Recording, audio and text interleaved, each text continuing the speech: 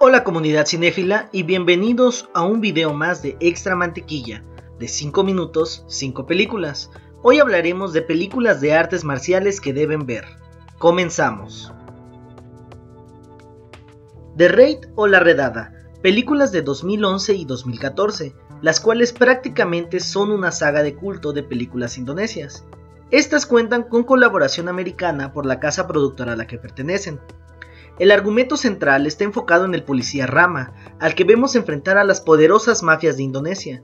El estilo de artes marciales que vemos en estas películas se llama Pencaxilat, haciéndolas más llamativas por los diferentes estilos y movimientos tan precisos y violentos que vemos en pantalla. Además, uno de los actores perteneció a la Guardia Presidencial y Fuerza Militar, mismo que ayudó a montar las coreografías. Es importante mencionar que esta película contó con un presupuesto por lo menos 10 veces menor en comparación con un blockbuster americano.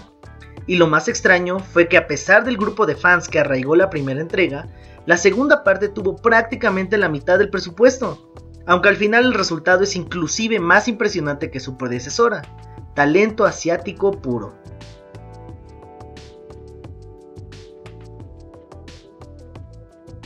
The Way of the Dragon o El Camino del Dragón, película de 1972. Esta es una de las películas más reconocidas de Bruce Lee y en la cual ocurre la denominada Pelea del Siglo, donde se enfrentan dos titanes de las artes marciales, Chuck Norris y Bruce Lee. La película trata sobre un hombre que es enviado por un pariente a Italia para ayudar en un restaurante por los abusos y el acoso de la mafia local. Entre algunas de las curiosidades del filme, la pelea final se desarrolla en el Coliseo Romano, y este también es el debut como director del mismo Bruce Lee. Como un dato extra, Chuck Norris, al terminar la filmación, dijo que jamás podría vencer a Bruce en una pelea real. Esta película se logró con tan solo 130 mil dólares y muchas de las grabaciones no incluidas en la edición final sirvieron para dar pie a la última cinta de Bruce Lee, Game of Death, película que vio la luz cuando él ya había fallecido.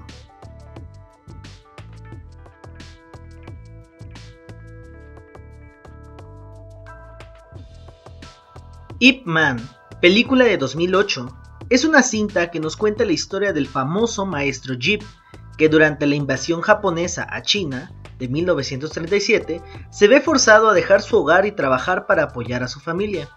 Es durante su travesía que acepta entrenar a otros en el arte del Wing Chun como modo de defensa propia. Si bien como película es muy buena, generó mucho más revuelo dado que el personaje principal tuvo por alumno al célebre Bruce Lee. Para lograr las mejores peleas posibles, el hijo del maestro Jeep y dos más de sus alumnos sirvieron como asistentes de la filmación.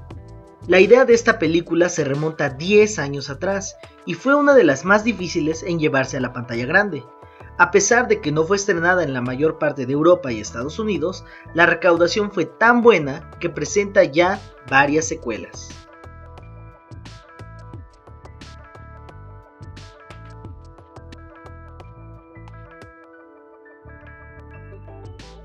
Warrior o La Última Pelea, película de 2011, este es un drama de acción que gira en torno a dos hijos de un exboxeador alcohólico, cada uno con sus propios demonios y que buscan la manera de solucionar sus problemas ganando el premio de un torneo de artes marciales mixtas.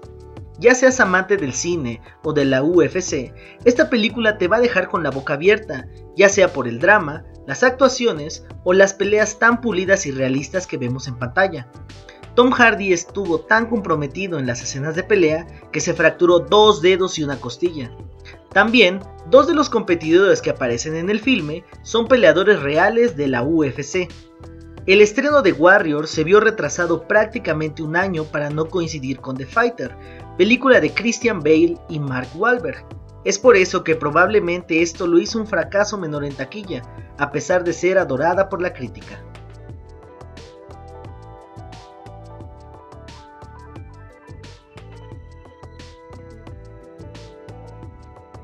Undisputed 2 o Invicto 2. Esta película forma parte de una saga de cine de artes marciales, siendo esta entrega una de las mejores ranqueadas dentro de la misma y siendo más conocida por las apariciones de Scott Atkins como Boyka.